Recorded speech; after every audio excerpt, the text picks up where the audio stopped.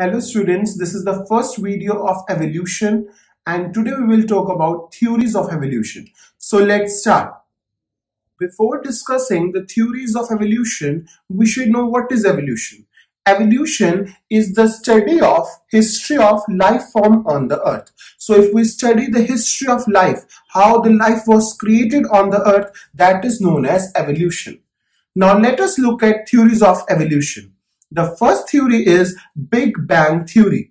Now this theory originates and states that universe was created as a result of single huge explosion and this explosion was so big that it was unimaginable in physical terms. Now, as a result of this explosion, universe expanded. And when the universe expanded, the temperature of the earth came down hydrogen and helium were formed. And as a result the gases they condensed under the gravitational force of the earth and galaxies were formed. So this was how the Earth was formed according to Big Bang theory. There was a single huge explosion. The explosion resulted in decrease in the temperature of the Earth. Hydrogen and helium were formed and these gases condensed under gravitation forces and galaxies were formed. The next theory of evolution is theory of panspermia. It is also known as theory of Greek philosophers because it was given by Greek thinkers. Now this theory states that life it originated from the spores and these spores were also called pansperms. Now, this theory states that life originated from spores or pansperms. And these spores or pansperms, they came on the earth along with meteorite.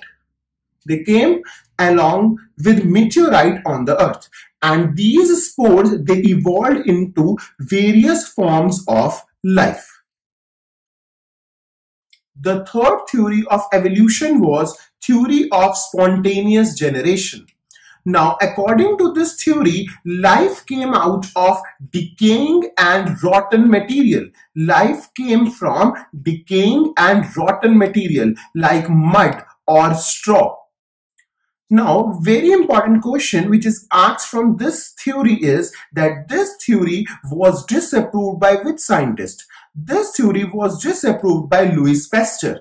Now, let us look how Louis Pasteur disapproved the theory of spontaneous generation. So now we will discuss about the experiment which Louis Pasteur did in order to disapprove the theory of spontaneous generation. Louis Pasteur two flasks.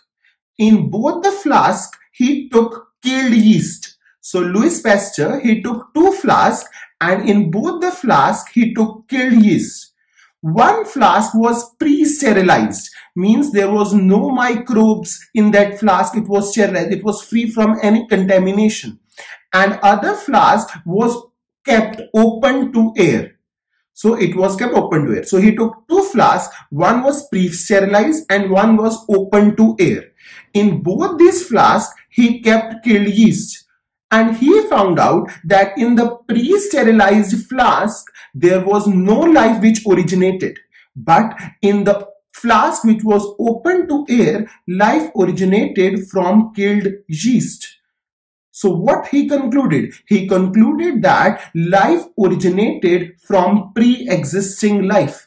So this disapproved the theory of spontaneous generation because the life it originated in the flask which was open to air in which killed yeast was kept. So this proved that life originated from pre-existing life.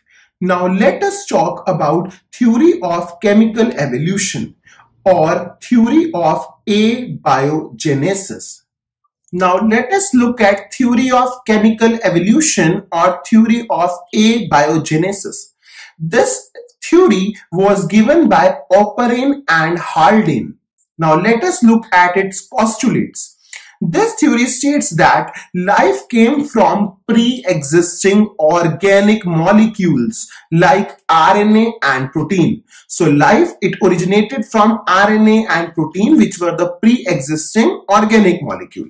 And second postulate was that there was first chemical evolution and then life form came into being. That means chemical evolution preceded formation of life. Now, this theory of abiogenesis was proved by two scientists by his experiments which were Urey and Miller. In the NCERT, it is written only Urey, but the scientists were Urey and Miller. So let us look at the experimental proof which was given by Urey and Miller in order to prove theory of chemical evolution. Now Urey and Miller, they took a glass container. In this glass container, they took four gases that were methane, ammonia, water vapor and hydrogen. So methane, ammonia, water vapor and hydrogen were the four gases which took in this flask. And in this flask, there were electrodes. Now these electrodes, they produced current and as a result the temperature of this glass container was up to 800 degrees Celsius. Now when these four gases along with high temperature of 800 degrees Celsius was kept in this flask after one week, Urey and Miller saw the formation of amino acids. This proved that chemical evolution occurs and this chemical evolution leads to formation of new life. If you have gained something from this video, please subscribe to my channel Ramji Chopra, like and comment.